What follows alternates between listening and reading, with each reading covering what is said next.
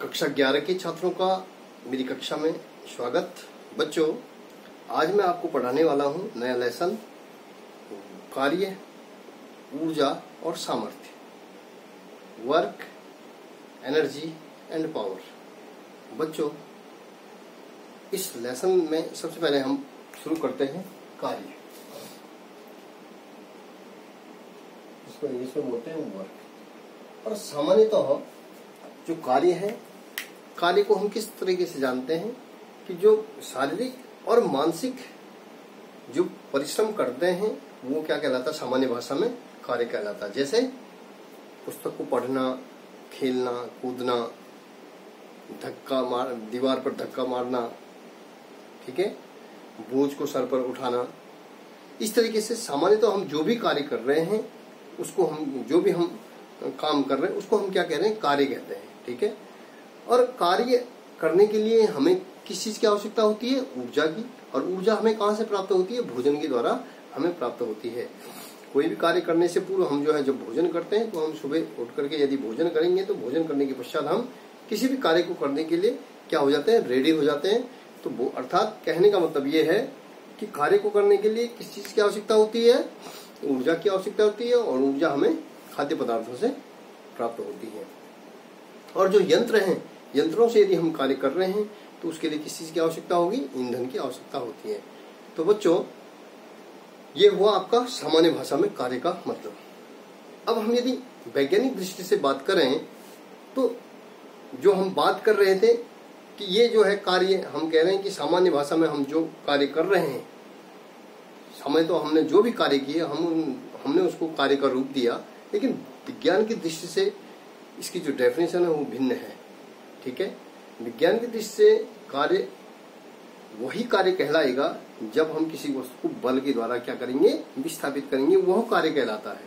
लेकिन यदि हमने कहा कि हम क्या कर रहे हैं कि किसी वस्तु पर क्या लगा रहे हैं? दीवार पर हम क्या कर रहे हैं? धक्का लगा रहे हैं। दीवार पर हमने धक्का लगाया तो धक्का लगाने पर चाहे हम कितना थक जाएँ, लेकिन दीवार में कोई विस्थापन नहीं हुआ तो यहाँ पर कार्य क्या हो जाएगा? शून्य हो जाएगा।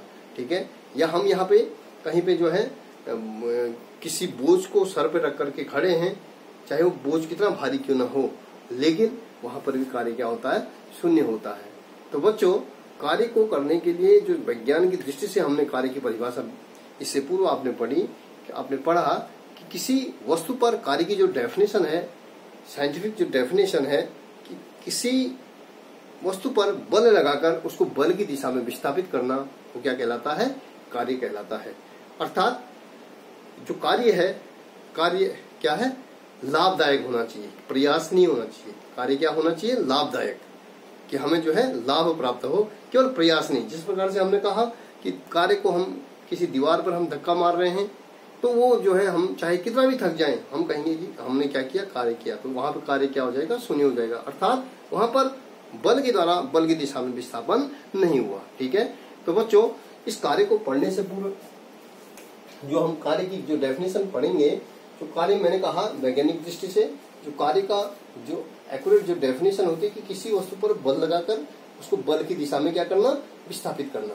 तो देखिए, अब उस कार्य को मापने के लिए, किसी भी कार्य को मापने के लिए या दो व्यक्तियों के द्वारा किए गए कार्य को मापने के लिए, हमारे पास जो मेथड होते हैं, उसके लिए जो है हम एक्यूरेट नाम नहीं नाप पाएँगे, उसके लिए हमें क्या होता है मेज़रमेंट की आवश्यकता होती है। कार्य को मेज़रमेंट करने के लिए क्या होती है? मापन की आवश्यकता होती है। तो मापन कार्य करने के लिए एक सिंपल सा मैं आपको उदाहरण दे रहा हूँ। कार्य की, देखिए, कार्य को मेज़रमेंट करने के लिए हमारे पास माना सपोज़ कोई ईंट है, ठीक है? कोई ईंट है ये, और ये कोई दीवार है यहाँ पे, ठीक है ना? ये भी कोई दीवार है, और दीवार के सहारे बराबर जो है दूरी पर हमने कोई अंकित किया हुआ है, बराबर दूरी पर A B C T E F G H A B C D E F G H ये बराबर दूरी पर हमने अंकित किए गए हैं मार्क। और यहाँ पर कोई घिरनी हमारे पास है, और इस घिरनी के सहारे जो है, इस घिरनी के सहारे हम जो है, यहाँ पे बल लगा करके इसको खींचते हैं।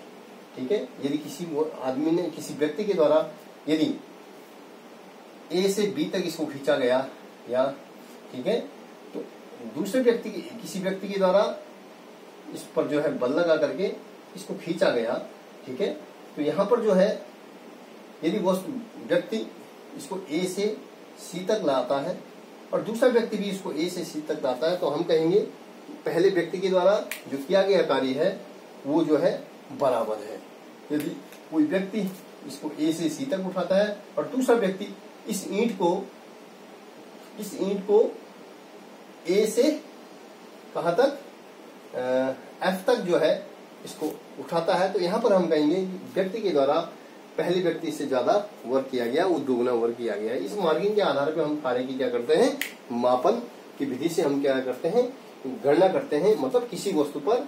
ये देखिए बच्चों इसकी जो डेफिनेशन है कि कार्य बराबर कार्य को हम डिनोट करते हैं कार्य बराबर होता है डब्ल्यू डब्ल्यू बराबर एफ़ ए गुणा गया एस तो किसी वस्तु पर बल लगाकर उसको बल की दिशा में क्या करना विस्थापित करना, क्या कहलाता है? कार्य कहलाता है। कार्य को हम कहते हैं बल गुणा विस्थापन। क्योंकि कार्य क्या है? सदिश राशि कार्य क्या है? अधिश राशि है। तो दो सदिश राशियों का बल क्या है? सदिश राशि है, विस्थापन भी क्या है? सदिश राशि है। और दो सदिश राशियों का जो सदिश गुणनफल होता है, दो सदिश राशियों का जो अधिश गुणनफल होता है, वो क्या होता है? कार्य होता है। अर्थात, हम इसको लिखते हैं, ये हमने इससे पूर्व पढ़ा है। हमने इससे पूर्व जब पिछली कक्षाओं में पढ़ा, हमने कहा कि डब्ल्यू बराबर बल गुणा गया विस्थापन। ठीक है? अब यहाँ पे देखिए, यहाँ पे समझने वाली बात है कि जब कोई वस्तु है, देखिए, कोई वस्तु है और ये वस्तु जो है हमारी यहाँ पर है, ठीक है? अब इस वस्तु में जो है, विस्थापन हुआ, ठीक है? इस विस्थाप इनके बीच की जो दूरी है डी और इस वस्तु पर हमने क्या लगाया? बल लगाया, और बल से जो है ये वस्तु विस्थापित हो गई यहाँ पे। तो यहाँ पे जो कार्य होगा, यहाँ पर जो कार्य होता है, ये कार्य हो जाएगा W बराबर एफ़ इंटू डी या F into S F into D यहाँ पे विस्थापन, आप जानते हैं विस्थापन भी क्या है? एक सदिश राशि है। विस्थापन मीन्स प्रारंभिक दूरी और अंतिम दूरी के बीच जो न्यूनतम दूरी होती है, ठीक है? किसी न्यूनतम समय में, किसी निश्चित समय में प्रारंभिक और अंतिम स्थिति के बीच चलेगी जो दूरी होगी, उसको विस्थापन कहते हैं। अर्थात ये भी क्या है? सदिश राशि है और बल आप जानते हैं सदिश राशि है। तो यहाँ पे जो है, कार्य हो जाएगा डब्ल्यू बराबर एफ़ इंटू डी अब आप देखें, आपने देखा कि कई बार क्या होता है बच्चों जब हम किसी वस्तु पर बल लगा रहे हैं और बल लगाने पर। बल का जो विस्थापन है और बल की जो दिशा है मतलब वस्तु में गति, जो बल, जो गति है और विस्थापन है, वो क्या होते हैं? वो उनमें जो है वो एक दिशा में नहीं होते। अर्थात, जब हम किसी वस्तु पर, जब हम किसी वस्तु को बल के सहारे, ये वस्तु है, ठीक है, और ये इसका विस्थापन हो गया यहाँ पे तो हम क्या कर रहे हैं इसको? कोण के सहारे। मतलब किसी कोण से जो है, ये हो गया आपका एफ़ हमने बल लगाया और विस्थापन की दिशा क्या है? विपरीत है। ये विस्थापन हो गया, यहाँ से यहाँ विस्थापन अर्थात, जब किसी वस्तु और ये थीटा एंगल पे, जब किसी वस्तु पर हम बल लगा रहे हैं तो बल और विस्थापन की दिशा क्या है? विपरीत है। जब हम किसी वस्तु पर इतना बल लगाते हैं तो बल की दिशा और विस्थापन में क्या होता है? डिफरेंस हो रहा है अलग अलग है, और वो एक दूसरे से थीटा कोण पर व्यवस्थित है। तो यदि हम यहाँ पे कार्य निकालेंगे तो कार्य बराबर हो जाएगा एफ़ और हम यदि वेक्टरों का आपने वियोजन पढ़ा होगा तो यहाँ पे हम वेक्टरों का वियोजन में इसको इस एफ़ का जो परिणामी जो वेक्टर है, इसको दो घटकों में वियोजित कर देते हैं, ठीक है? ठीक? ये जो घटक हो जाएगा, ये हो जाएगा लंबोत घटक, और ये क्या हो जाएगा? छत्तीस घटक। ठीक है? तो ये जो छत्तीस घटक होगा, इस तरह का एफ़ कॉस थीटा और ये हो जाएगा थीटा तो जो ये एफ़ है, ये दो घटकों में वियोजित हो गया छत्तीस घटक और लंबोत घटक, ठीक है? तो जो छत्तीस घटक है, यहाँ पे यदि हम बात करेंगे कार्य की तो कार्य एफ़ जो हो जाएगा हो जाएगा F into F cos theta ठीक है? एफ़ का जो डी के सापेक्ष एफ़ का जो डी के सापेक्ष जो घटक हो जाएगा, वो हो जाएगा F cos theta into D तो इसलिए डब्ल्यू बराबर एफ़ डब्ल्यू बराबर F into D cos theta ठीक है बच्चों? इस तरीके जो है हम कार्य की क्या करते हैं? गणना करते हैं। तो बच्चों, यहाँ पे हमने जो है, इससे पूर्व वाले लेसन में, जब वेक्टर के एनालिसिस में हमने जो एनालिसिस ऑफ़ वेक्टर्स में हमने पढ़ा था हमने पढ़ा था कि दो सदिश राशियों का, दो सदिश राशियों का जो कार्य है, वर्क, दो सदिश राशियों का अधिश गुणनफल दो सदिश राशियों, जो सदिश राशियाँ होती हैं, सदिश राशियों का जो गुणनफल होता है मल्टीप्लीकेशन ऑफ़ वेक्टर होता है, वो दो तरीके से होता है। ठीक है? सदिश राशियों का गुणन सदिश राशियों का गुणन फल सदिश राशियों का जो गुणनफल होता है दो तरीके से होता है। पहला सदिश राशियों का गुणनफल दो प्रकार से होता है। पहला, दो सदिश राशियों का अधिस गुणनफल, ठीक है?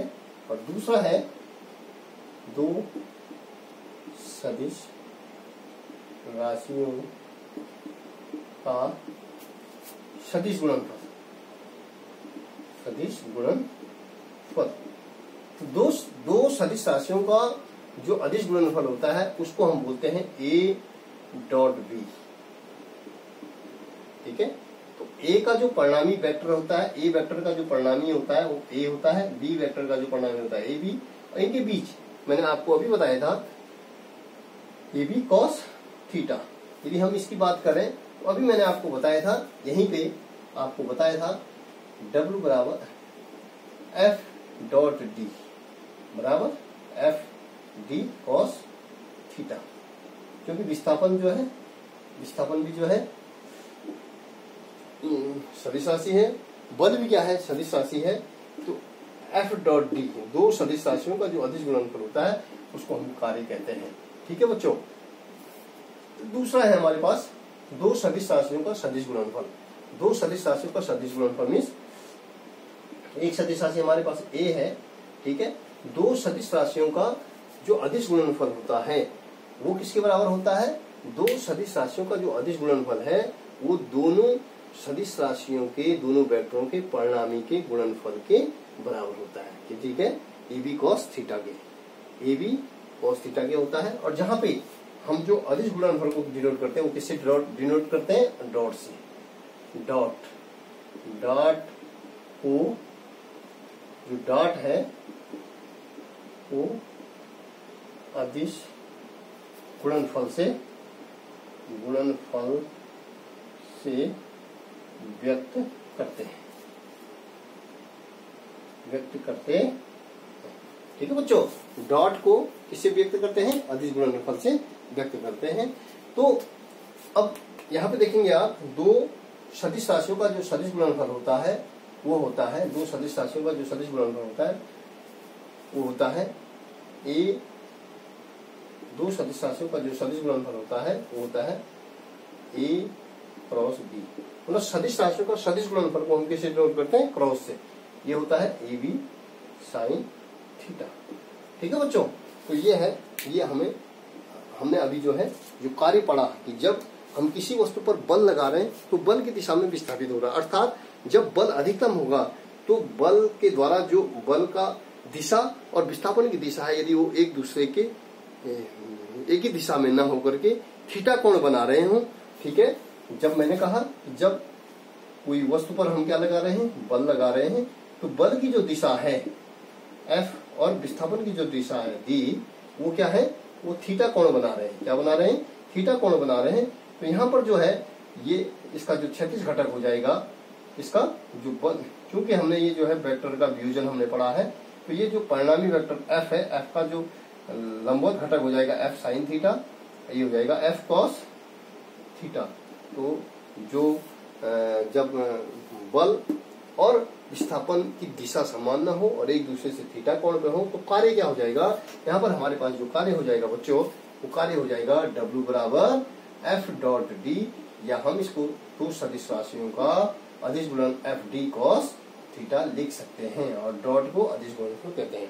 अब अदिश गुणन फलों के गुण हमने पढ़े हैं बच्चों।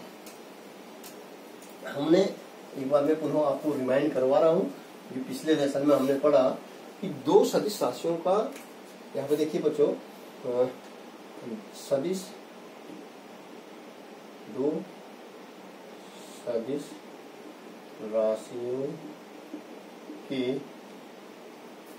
अदिश गुणन अदिश गुणन फल के गुण। दो सदिश राशियों का जो अदिश गुणन है, उनके गुण क्या होते हैं? नंबर एक, यदि दोनों वेक्टर क्या होते हैं? एक दूसरे के समांतर होते हैं। एक दूसरे के क्या होते हैं? समांतर होते हैं। पहला गुण तो ये है जब दो सदिश राशियाँ एक दूसरे के क्या होते हैं? समांतर होते हैं। तो क्या होता है? तो समांतर होंगे तो थीटा बराबर नब्बे डिग्री। थीटा बराबर सॉरी ज़ीरो डिग्री। तो A dot B A dot B बराबर ए डॉट बी बराबर ए बी कॉस थीटा और थीटा क्या हो जाएगा? यदि ज़ीरो रखते हैं तो A B cos zero degree बराबर कॉस ज़ीरो का मान क्या होता है? वन होता है ये हो जाएगा ए बी क्लियर है? जब क्या होते हैं? वेक्टर जो है, दो सदिश राशियाँ का जो अधिश गुणनफल होता है, यदि वे एक दूसरे के समांतर होते हैं वेक्टर ए वेक्टर बी के समांतर होगा। अर्थात वेक्टर ए ये है और वेक्टर बी ये है। दोनों की दिशा क्या है? समान है। ठीक है? तो यहाँ पे जो है थीटा क्या हो जाएगा? ज़ीरो ए डॉट बी बराबर ए बी की। अगला, यदि एक दूसरे के लंबवत है, माना ए वेक्टर ये है, ठीक है, और बी वेक्टर हमारा क्या है? लंबवत है। एक दूसरे की क्या है? लंबवत है तो थीटा बराबर नब्बे डिग्री। ठीक है? तो यहाँ पर जो है, दूसरी कंडीशन यदि ए वेक्टर बी वेक्टर जो है, लंब है ए पर। यदि बी वेक्टर क्या है ए पर क्या है, लंब है। इसको लंब से डिनोट कर रहे हैं, देख रहे हैं? तो बी वेक्टर यदि ए पर लंब है तो थीटा बराबर क्या हो जाएगा, नब्बे डिग्री। तो ए डॉट बी दो अधिस राशियों का, जो दो अधिस राशियों का दो सदिश राशियों का जो अधिस गुणनफल होता है, वो हो जाएगा ए बी कॉस थीटा और A B cos 90 degree cos 90 का मान ज़ीरो कॉस 90 की वैल्यू क्या होती है? ज़ीरो तो इसलिए ए डॉट बी बराबर क्या हो गया? ज़ीरो हो गया. तीसरा मैंने आपको बताया तीसरी चीज़ ये होती है, ये क्या करते हैं? क्रम विनिमय के नियम का पालन करता है. किसके नियम का पालन करता है? क्रम विनिमय नियम का पालन करता है. अर्थात तीसरी चीज़ हमारे पास होगी ए डॉट बी बराबर ए बी कॉस थीटा हम जानते हैं, ठीक है? दो सदिश राशियों का जो अधिस गुणनफल होता है ए डॉट बी बराबर ए बी कॉस थीटा बच्चों, हमने यहाँ पे देखा है, यदि ए डॉट बी बराबर ए बी कॉस थीटा अर्थात यदि दो सदिश ए सदिश है और ये बी सदिश है एक दूसरे से थीटा एंगल पर ठीक है? तो हम कह रहे हैं कि बी का ए के सापेक्ष जो है तो यहाँ पे हम क्या करेंगे बच्चों? यहाँ पे जो है ये बी सदिश है तो यदि हम बी का बी यदि परिणामी सदिश है तो इसको वेक्टरों के वियोजन में हम दो घटकों में वियोजित कर देते हैं। ये हो जाएगा आपका बी साइन थीटा और ये हो जाएगा बी इसको हम लिखेंगे बी कॉस थीटा ठीक है? तो इसका जो छत्तीस घटक होगा, इस तरीके से बच्चों हमने ये वियोजित कर दिया। दो घटकों में वियोजित कर दिया। ठीक है? तो हमारा जो है, देखिए ए डॉट बी बराबर क्या हो जाएगा? ए ए की जो ए का परिणामी क्या हो जाएगा? ए और बी का परिणामी जो है बी कॉस थीटा तो हम इसको इस तरीके से भी लिख सकते हैं। A B cos theta A dot B बराबर ए बी कॉस थीटा हमने इस तरीके से भी इसको क्या कर दिया? वियोजित कर दिया। ठीक है? तो बोलने का मतलब हमारा जो है, ये हो जाएगा। यदि हम किसकी बात करेंगे? ए की बात करते हैं। यदि हमने ए वेक्टर जो है ए के साथ बी की बात कर रहे हैं तो हमने क्या करना है? इस तरीके से बी डॉट ए बराबर बी ए कॉस थीटा उसी तरीके से हम इसको वियोजित करेंगे। तो आप देख रहे हैं बी डॉट ए बराबर A B A B cos theta B A लिखो या ए बी लिखो, एक ही बात है। तो बच्चों, हम देख रहे हैं, ये दोनों वैल्यू क्या है? बराबर है ए डॉट बी बराबर बी डॉट ए अर्थात, यह क्रम विनिमयता के नियम का पालन करता है।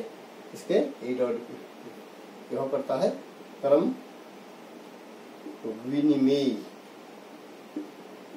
नियम का पालन करता है। ठीक है? क्रम विनिमय नियम का पालन विनिमय नियम का पालन करता है, ठीक है? अगला है वितरण के नियम का पालन करता है। वितरण के नियम का जो दो सदिश राशियों का अधिश गुणनफल अधिश गुणनफल अधिश गुणनफल, जो अधिश गुणनफल होता है मतलब A dot B is equal to हो जाता है। वो किसका नियम पालन करता है? वो पालन करता है अधिश गुणनफल वितरण नियम का। वितरण नियम का पालन करता है। इस तरीके से ए डॉट बी धन सी ये हमारे पास है। तीन सदी चलिए हमारे पास है। ये हो जाएगा A dot B plus A dot C ठीक है बच्चों? इस तरीके से हमारा जो है, ये हो जाएगा A dot B plus A dot C तो ये भी हमारा जो है, ये वितरण के नियम का क्या करता है? पालन करता है। ठीक है? अगला जो है कि यदि एक सदिश दूसरे सदिश से क्या करता है? यदि एक सदिश का दूसरे सदिश से क्या कर देंगे? गुणा कर देंगे। मतलब यदि यदि सदिश ए का उसी सदिश ए से अदिश गुणन फल मतलब A dot A dot A बराबर? ए ए और थीटा सपोज़ ए की वैल्यू ये है और दूसरा ए भी ये है। ठीक है? दोनों की दिशा क्या है? सेम है। दोनों बराबर है मतलब है। दोनों सदिश क्या है? बराबर है। ए बराबर ए के। Cos थीटा क्या हो जाएगा ज़ीरो तो ये हो जाएगा ए स्क्वायर क्या हो जाएगा ए स्क्वायर ए डॉट ए बराबर ए स्क्वायर ठीक है? उसके अलावा जो है, बच्चों, बहुत सारे जो है मैंने आपको बता रखे हैं। तो इससे जो है, ये जो है दो सदिश राशियों का, इससे हमारे, इससे संबंधित हमारे न्यूमेरिकल से भी आएँगे। इसलिए मैंने आपको एक बार रिमाइंड करवाया। अब हम अगला जो टॉपिक पढ़ते हैं, कार्य का मापन। इसका मापन कार्य का मापन कार्य का मापन बच्चों जो कार्य का मापन होता है। कार्य का मापन के लिए मैंने मेज़रमेंट ऑफ़ वर्क इसको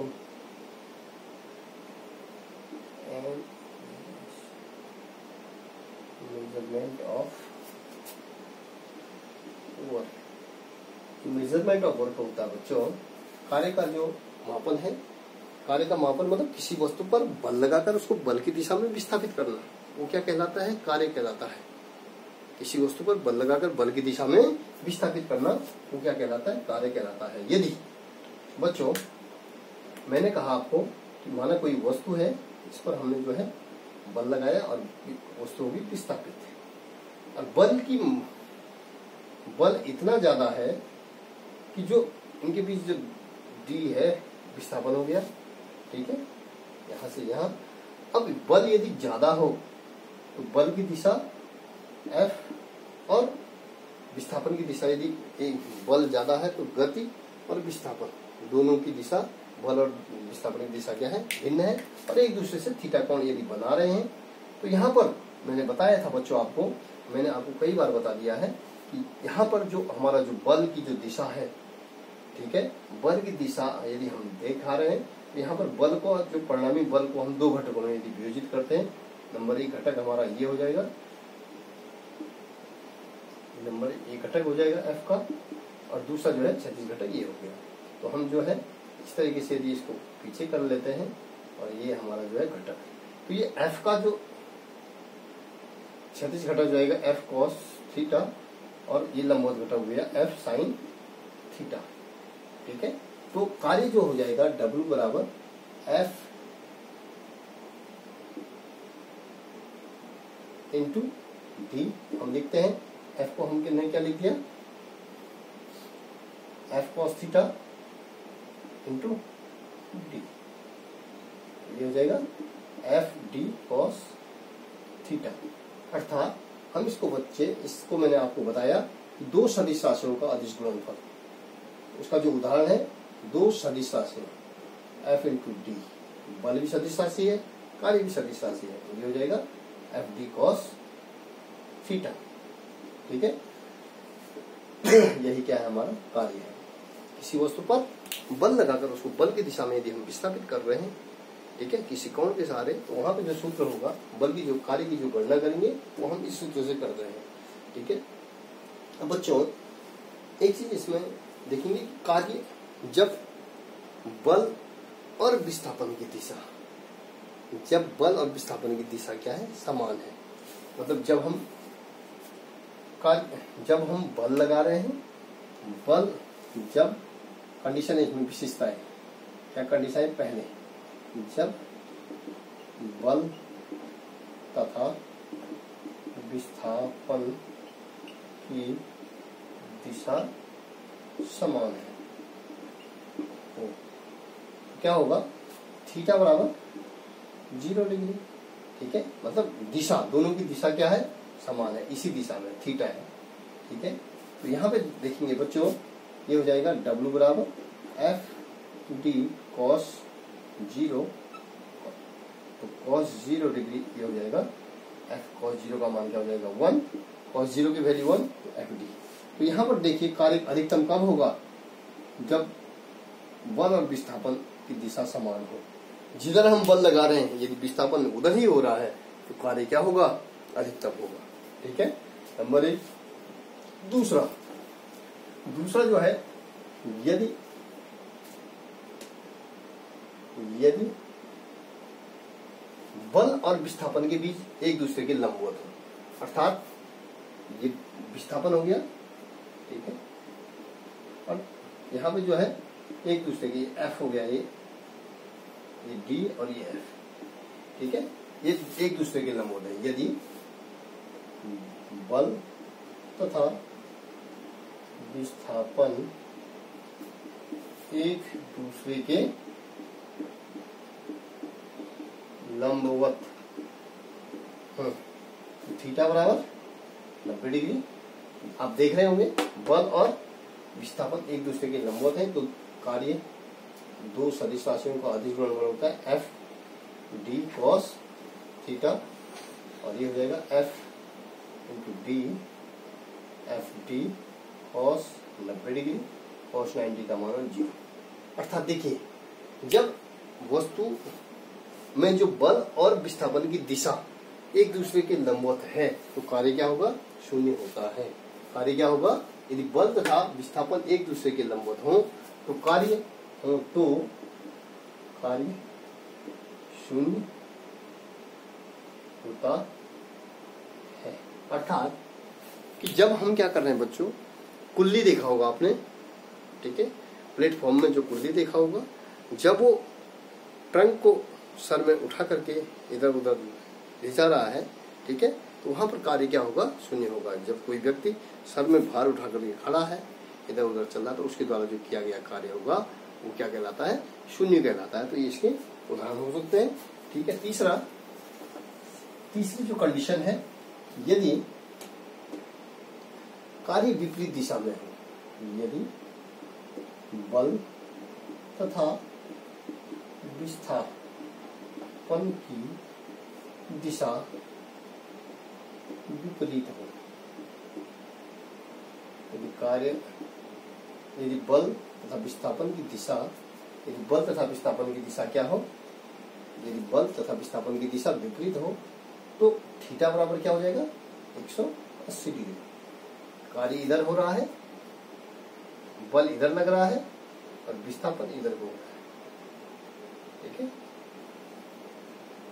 विस्थापन इधर हो रहा है बल इधर को ठीक है तो इस तरीके से जो है विस्थापन थीटा क्या हो अस्सी डिग्री हो तो कार्य हो जाएगा एफ़ डी कॉस थीटा।